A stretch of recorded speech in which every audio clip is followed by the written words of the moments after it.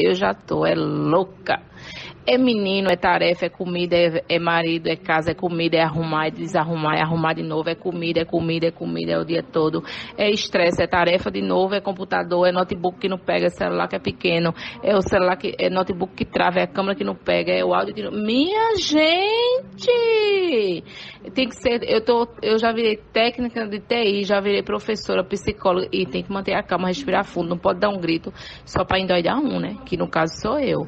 Minha Nossa Senhora, eu vou dizer dizer, viu? Se é para pagar os pecados na terra, glória a Deus, Senhor, por isso, viu? Porque eu vou subir com roupa e tudo. Em nome de Jesus. Cagar e andar? Ou aprender a usar o pinico? Ligar, foda-se. Ou cuidar. É só uma chuvinha, não é? Pra que essa aca? Poderíamos todos juntos navegar pelo oceano, como sugere a série Distanciamento Social. Mas não temos arca e muito menos tivemos a profecia do dilúvio do coronavírus. Eu sou cordão umbilical. Para mim, nunca tá bom. E o sol queimando o meu jornal, minha voz, minha luz, meu som. Todo homem precisa de uma mãe. Todo homem precisa de uma mãe como dito por Zeca, Velozes e Furiosos, não dispensem o útero. Os cuidados na primeira infância, desigualmente distribuídos, dada a substantiva desigualdade de gênero que nos assola.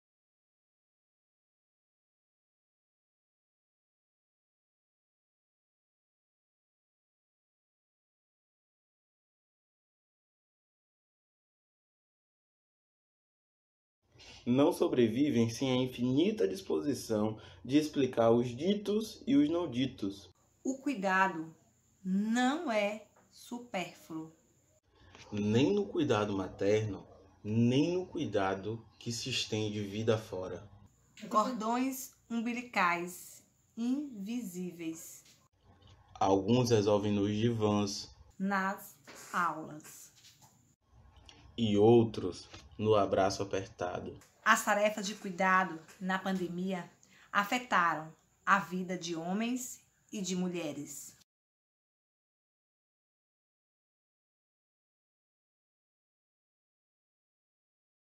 Enquanto homens tiveram mais tempo livre na pandemia, mulheres produziram menos trabalho científico para cuidar de alguém. Não pretendemos ser definitivos, muito menos conseguir alcançar a abrangência e a complexidade da questão da importância do cuidado das professoras e dos professores. Gostaríamos de refletir acerca do educar e cuidar. Quem educa, cuida. Quem cuida, educa. Quando cuidar é educar? Quais processos formativos expressam ações e as dimensões do cuidado na educação infantil, no ensino fundamental, no ensino médio. E por que não perguntarmos quando cuidar é educar na universidade? Começamos pela lógica da Revolução Industrial.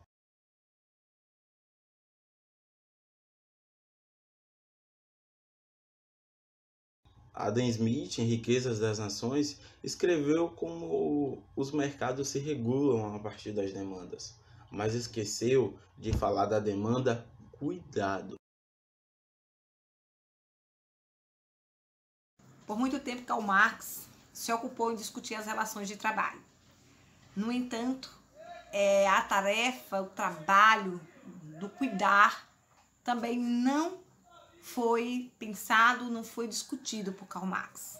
A partir da Segunda Guerra Mundial e mais demandas de produção, as mulheres se inseriram no mercado de trabalho e o Estado teve mais funções de cuidado: sistema de saúde, aposentadoria, educação pública.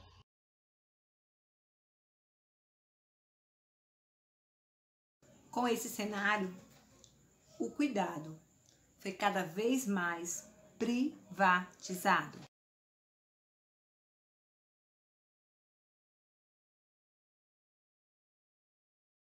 Brasil 2020. Cuidar da nação, cuidar do povo, cuidar da multidão. Quem cuida? Quem é cuidado? Bolsonaro cuida com cuidado? Bolsonaro sem cuidado. Bolsonaro é chave para entendermos a crise do cuidado atualmente no Brasil, sem deixar de citar esse cara aqui. Attitude is I don't care. I don't care. You understand. I don't care. Whoever it is, I don't care. I really don't care. Hey, look, I'm president. I don't care. I don't care anymore. Descuidado não é só detalhe. Ele permeia as estruturas e não é diferente na educação.